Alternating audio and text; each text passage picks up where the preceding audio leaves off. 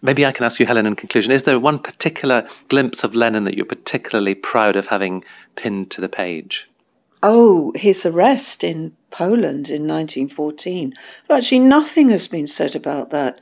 And I think the ultimate joy of that was to really recover a completely lost part of the story, which was that when he when he was arrested in 1914 in this tiny village called Biały the local Polish socialists, but also the local respectable Jewish citizens of Galicia, precisely the same Jews who disappeared in the Holocaust, all got together and petitioned for his release as a good and decent, honest man. And when they, you know, Lenin was let out of jail, he came very close to being taken out and shot. He went back to gather his belongings and had no money to get on the train out of Galicia with his wife and his mother in law.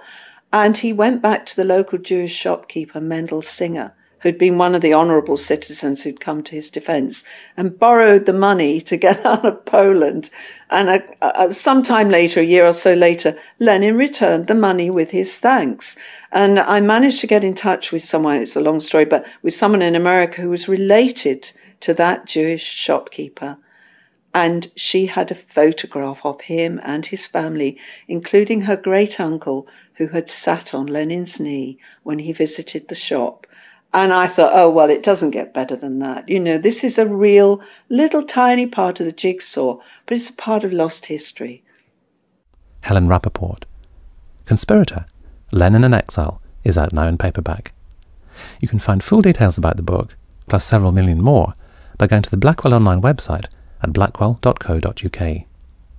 That's all for this edition of the Blackwell podcast. So thank you for listening, and until next time, goodbye.